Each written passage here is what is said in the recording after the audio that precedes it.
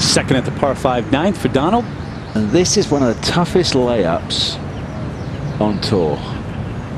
Guys have been, of course, going for it now, but I was, I was, I did drop back into my day.